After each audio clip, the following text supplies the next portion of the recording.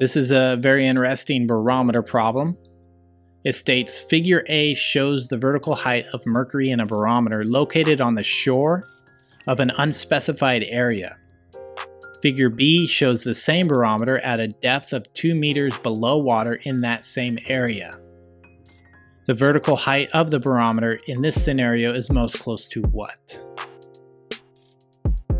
Alright, so it's looking for the vertical height of the barometer, which is denoted with the H, when it's two meters below water. So there's some things we have been given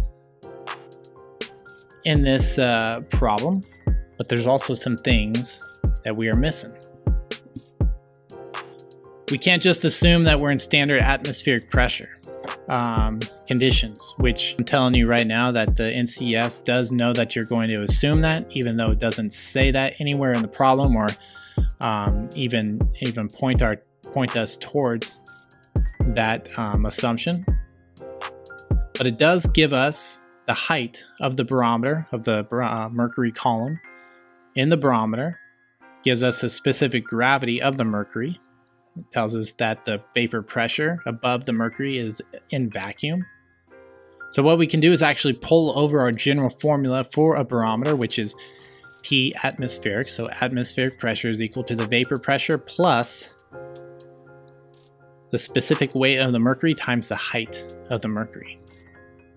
So in this problem, we're going to go ahead and start with figure A because we got to determine what the atmospheric pressure is. The, uh, the problem states that the barometer is located on the shore of an unspecified area. For all we know, this is on Mars. This is somewhere.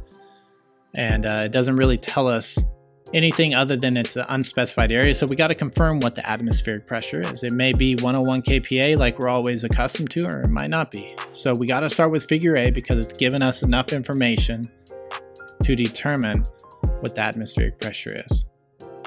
So we're given a height of the mercury column at 0.75 meters.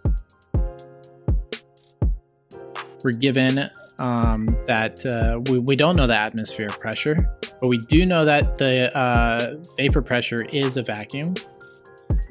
So it's uh, 0 kPa.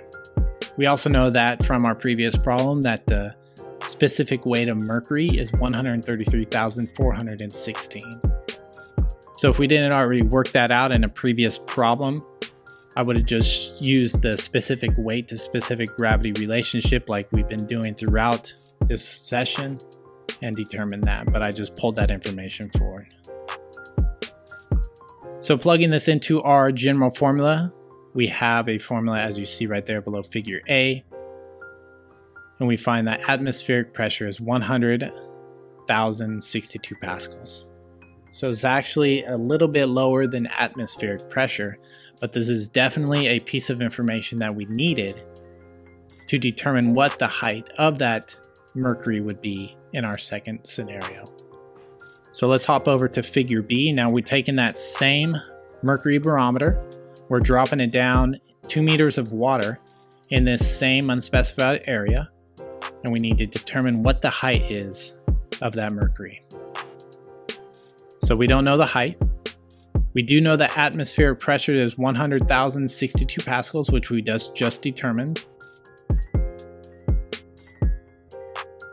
And we also know that the weight of the, the, the weight that is uh, of the water column is equal to the specific weight of water times the height, which is two meters.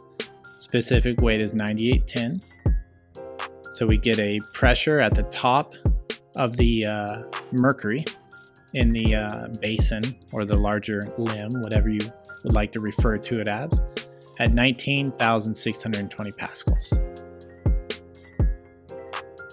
Now looking at our general solution, we know that we have to start at the surface of the water, which is at atmospheric pressure.